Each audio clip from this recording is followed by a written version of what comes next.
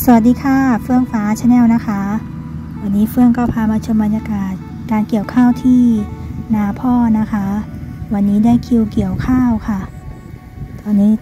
ข้าวก็เหลืองพอเกี่ยวทุกที่แล้วนะคะ นี่ก็เป็นปีที่สองนะคะ ที่เฟื่องได้มาอยู่ที่ศรีสะเกษค่ะ ก็ได้เห็นบรรยากาศการเกี่ยวข้าวอีกรอบนะคะ วันเวลาก็เปลี่ยนไปเร็วมากเลยนะคะ ตอนนี้ก็ถึงฤดูเกี่ยวข้าวแล้วค่ะ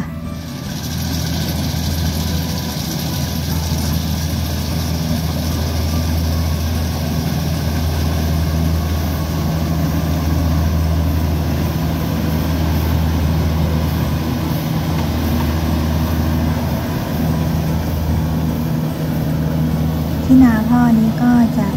ปลูกข้าวหอมมะลิ ก็จ้างรถเกี่ยวนะคะ ไล่ละ 550 ค่ะ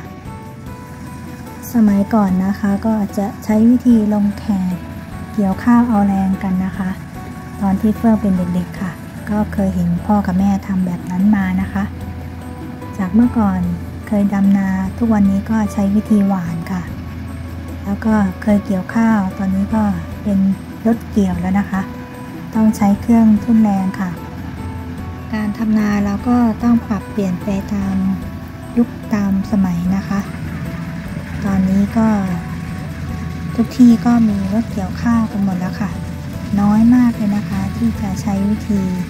เกี่ยวข้าวค่ะ นอกจากที่นาลุ่มหรือว่าลดลงไม่ได้นะคะตรงนั้นก็จะต้องใช้มือเกี่ยว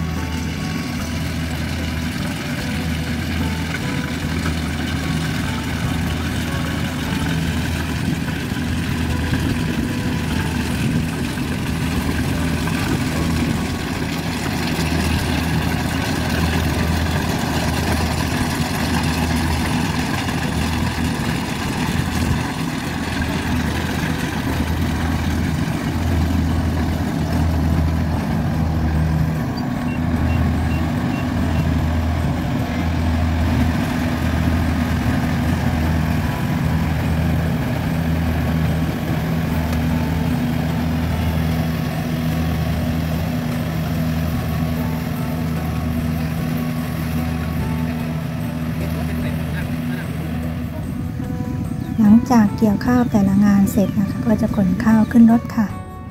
นี่ก็จะเป็นอีกส่วนหนึ่งนะคะจ้างตะหาค่ะ ไม่เกี่ยวกับรถเกี่ยวข้าวนะคะ ค่าขนนี้ก็สอบละสิบบาทนะคะ แล้วก็ค่ารถขนนี้นะคะ ก็จะเป็นคิดเป็นตันตันละสามร้อยค่ะ